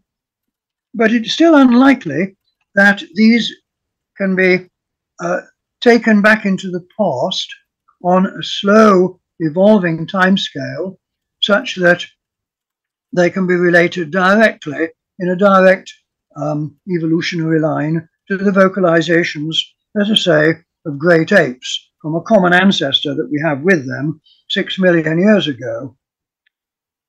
If we accept this uh, unlikelihood, then it seems equally unlikely to me that we can talk about cultural transmission or technological transmission in a slow, uh, um, uh, uniform manner, um, invariant manner over the past, let's say, two million years, from which we have uh, information about different technical skills and technical abilities, uh, or at least, um, shall we say, uh, technical possibilities that were exploited by our, our genus Homo. And therefore, I would argue that it is equally likely that the unawareness of what people, what individuals were actually enacting, the unawareness by bystanders, onlookers, or even the very protagonist uh, protagonists of those activities themselves uh, was a continuous, in continuous evolution over, let us say, um, 80 or at least 60,000 generations in a continuous invariant manner. This seems unlikely, and it seems equally unlikely uh, that uh, the same is true of different uh, linguistic, um, uh, um, shall we say, uh, uh, abilities or aptitudes.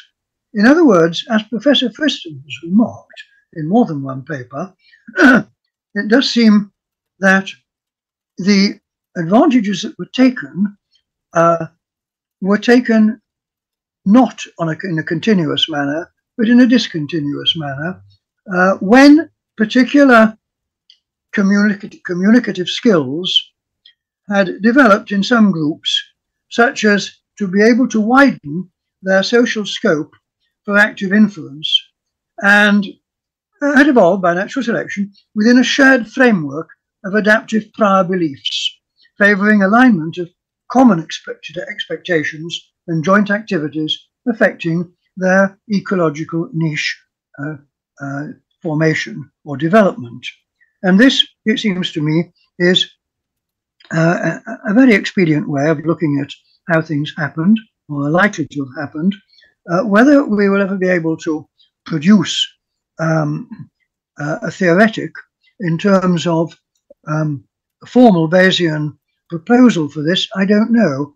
Uh, I would like to think so, but I really don't know how. I don't have the competence to begin to do this myself. Um, but I think that it is, it will, if, if it is possible, it will certainly be, to put it mildly, a challenge to those who tend to think that there is a rapid jump, uh, or a rapid jump took place, uh, which, shall we say, a small gap. There's only a small gap that separates us from the great apes of the um, of the equatorial latitudes of the old world. I think that that took a lot, not much longer period of time, and I don't think that one could. I don't think that uh, to compare uh, what modern, even shall we say in inverted commas, relatively simple or primitive communities uh, do or how they act, is commensurable with uh, the behavior of modern great apes. Um, frankly, I would uh, uh, I would like to challenge this, and I would hope that it might be possible to produce a model which will permit the uh, a theoretic which will permit um, uh, the evolutionary process to be at least um, interpreted in an alternative fashion.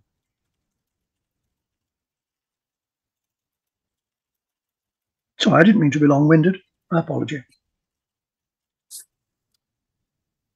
The classical information is inscribed on the holograph. In the classical sedimentary layers is Daniel, you're mu muted. Sorry. In the in the holograph we have the inscription of the classical information.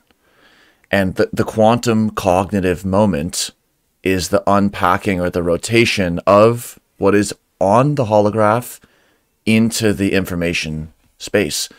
And that, I think, was provocatively raised when you asked, what if this was all there ever was?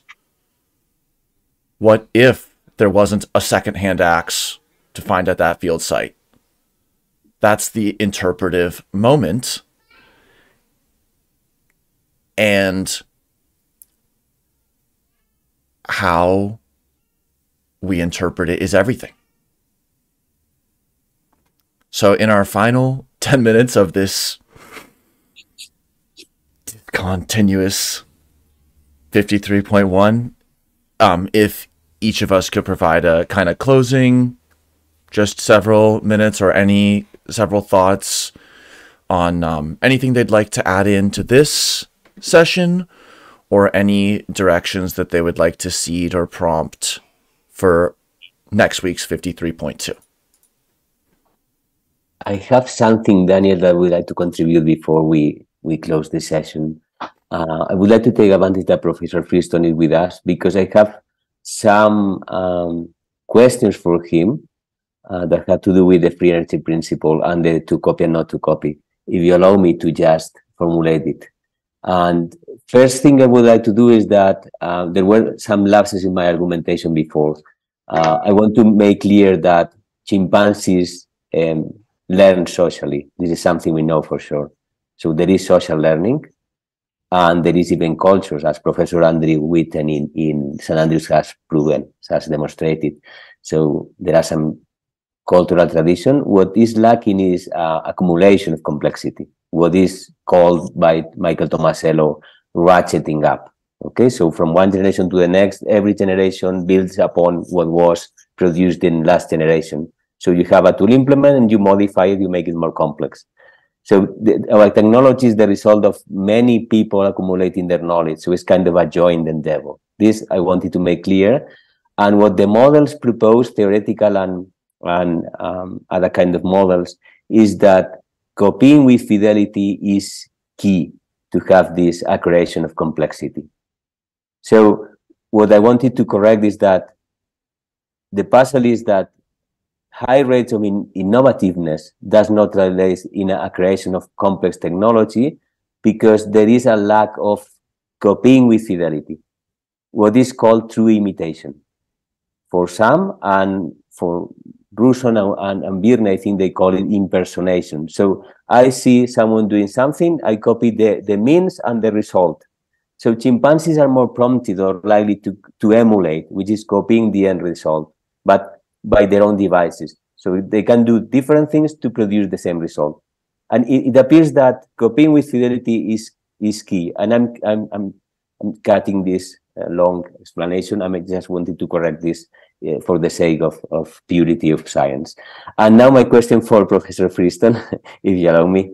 Um, there is something interesting that uh, the team of Andrew Whiten in, in St. Andrews uh, uh, observed, and that is in our paper that there was one instance that I know of when there was this kind of accumulation of complexity in chimpanzees.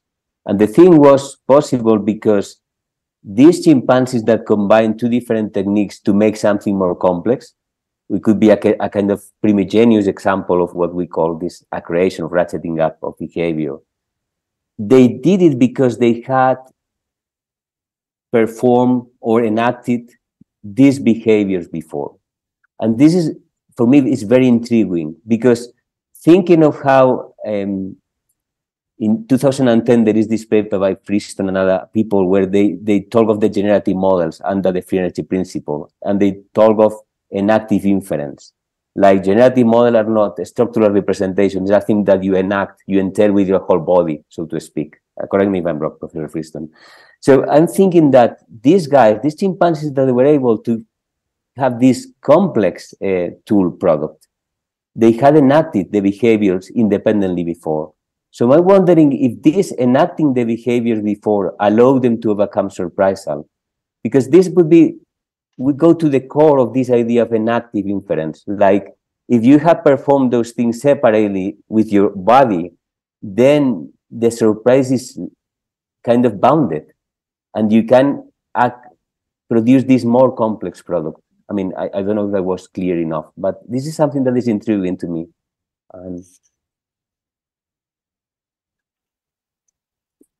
Sure, Karl. As your as your last thoughts, feel free to address that or anything else. Uh, well, yes, I'm just reflecting on on that. Um, I think very important question. I mean, it is certainly the case that all of the um, the active inference formalism um, both in neuroscience, but also in terms of you know ensemble dynamics and self-organization of, of, of collections of um, things, um, rests upon um, a generative model of the consequences of my action.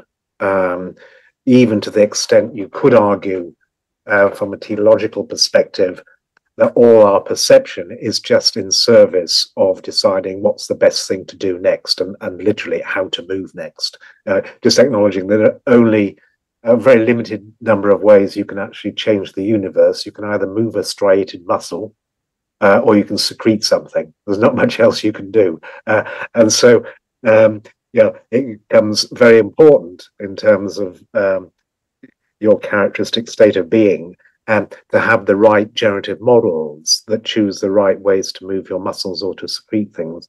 Um, and that places embodied action or having um, um, um, embodiment and enactivism at the center of the generative models. And it certainly makes sense to me from the point of view of um, both a statistician and um, a machine learning enthusiast that it would be um, uh, it would be much easier to revise or update a generative model in the sense you were intimating in terms of um, accommodating the next kind of behavior.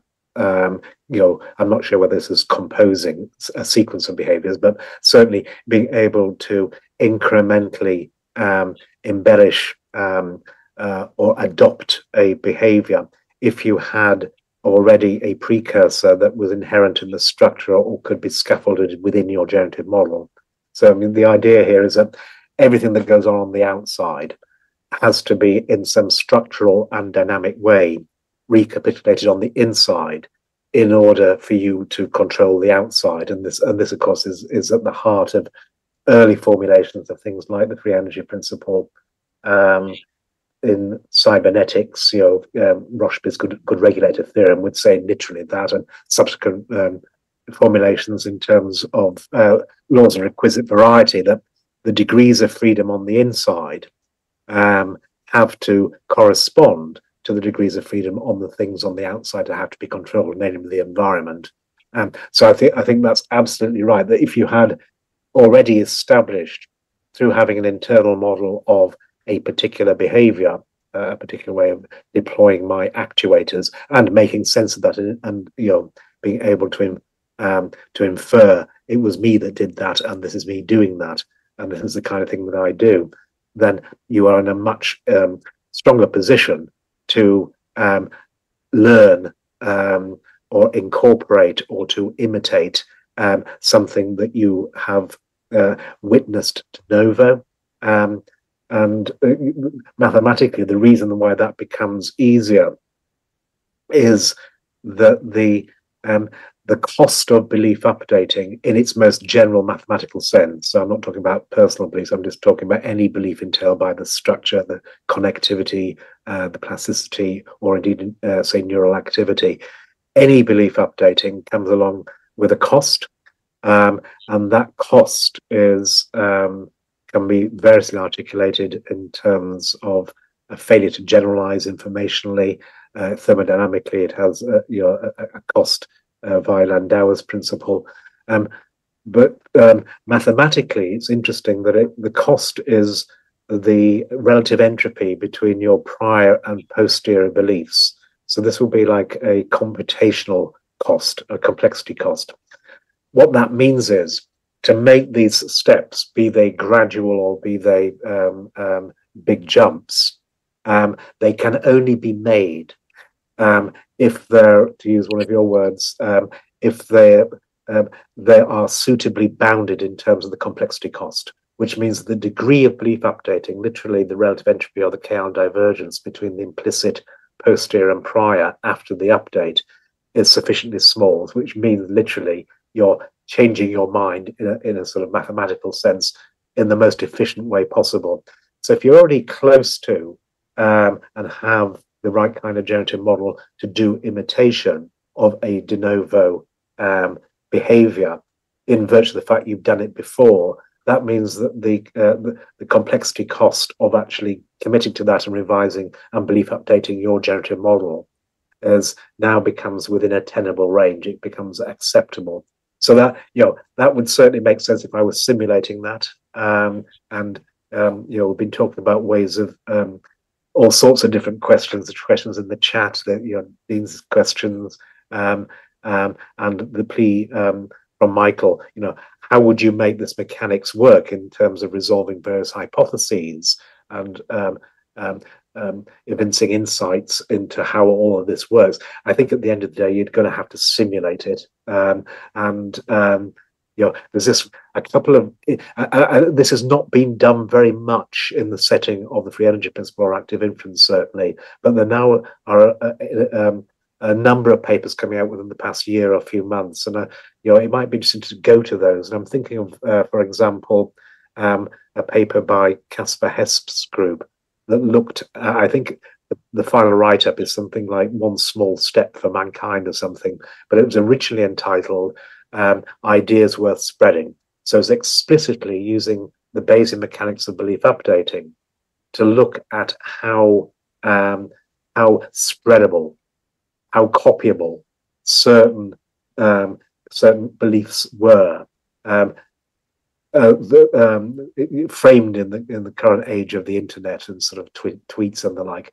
And the same kind of theme has, has also been taken up by uh, colleagues of Conor Heins and Maxwell Ramstead in terms of um, simulating epistemic communities, where coming back to Michael's use of the, you know, the, you know, the importance of epistemic spread and copying, uh, you know, and imitation be, being basically an epistemic spread, that's now starting to be simulated. So I think we are on the cusp in the world of active inference, at least, on having um, um, a mechanics out there that's actually realized in silico that you can start to intervene on and model things of this kind or that kind. And as speaking to Dean's question earlier on, you know, it strikes me that in, people in climatology must face exactly the same problem. Is this missing data, or did this thing actually go away? Uh, and of course, it's a really important, uh, really important question to answer. That in principle, you can do it if you've got a model of those legacy data.